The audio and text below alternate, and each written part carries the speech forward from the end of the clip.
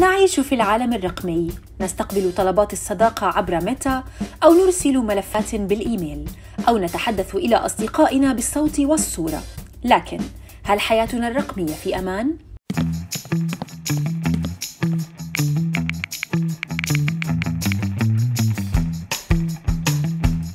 الطريقة الأسهل لاختراقك هي اكتشاف كلمة السر التي تستعملها في بريدك الإلكتروني أو أي منصة رقمية تستعملها. لهذا احرصوا على اعتماد الجمل أو المصطلحات بدلاً من كلمات السر. وفعلوا عامل المصادقة الثنائية من خلال تطبيق Authenticator وليس رسائل SMS.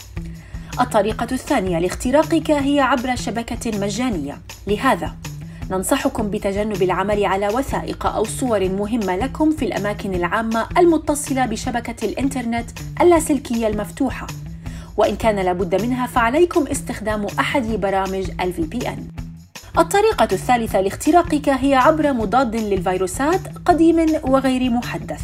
لهذا لا تنسوا تحديث برامجكم المضادة للفيروسات.